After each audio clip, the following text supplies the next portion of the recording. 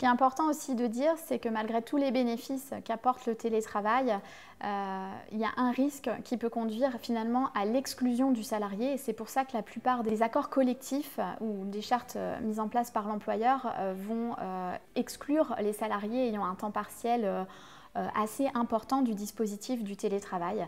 Et donc, euh, parfois, on a une proratisation du droit au télétravail pour les salariés à temps partiel, puisque le but, quand même, c'est de garder un pied dans l'entreprise et de ne pas conduire à l'exclusion du salarié.